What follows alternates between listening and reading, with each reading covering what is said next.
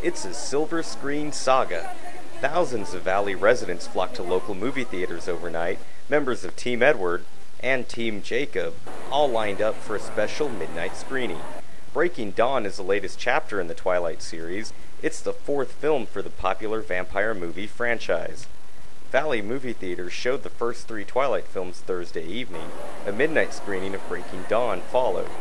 Parking was hard to come by at the Harlingen Cinemark. All 16 screens were showing the film, but movie theater operators say all of them sold out. With an average of 200 seats per screen, that's more than 3,200 people. It was a scene that was repeated at movie theaters across the valley. In Harlingen, Sergio Chapa, Action 4 News.